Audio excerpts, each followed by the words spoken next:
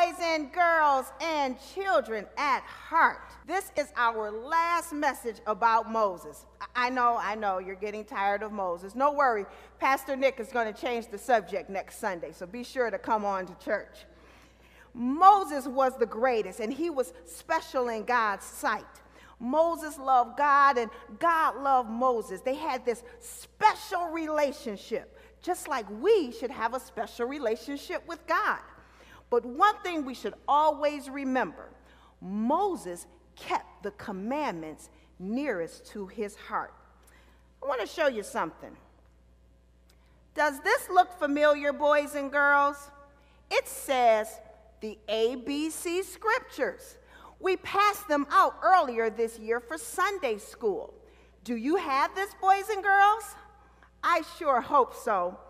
It was a way that the parents would teach their children about the Word of God. They would either put it on their foreheads, and, and you could even put it in your backpack. But it was a way to make sure that you had the Word of God with you always.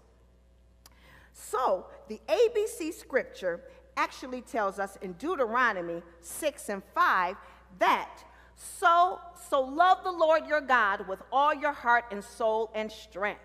And you should memorize this law and tell your children over and over again.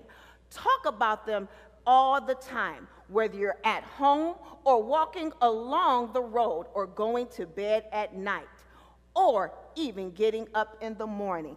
That is the word of God.